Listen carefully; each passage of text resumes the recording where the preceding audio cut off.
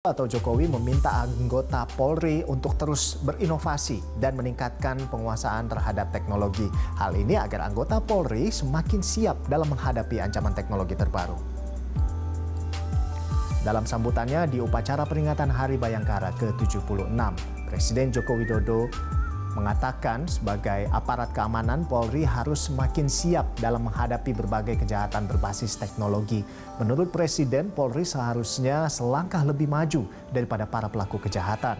Selain itu, Presiden juga mengingatkan masih banyak tugas berat lain yang harus diselesaikan Polri.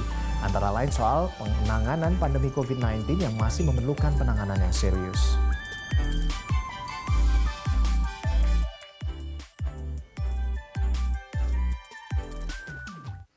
Selain membaca survei, saya juga terus mengikuti pemberitaan di media konvensional dan media sosial.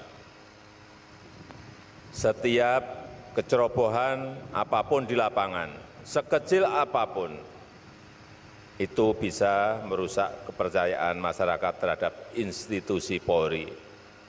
Oleh karena itu, bekerjalah dengan hati-hati, bekerjalah dengan presisi kita harus semakin siap dalam menghadapi ancaman kejahatan berbasis teknologi terbaru.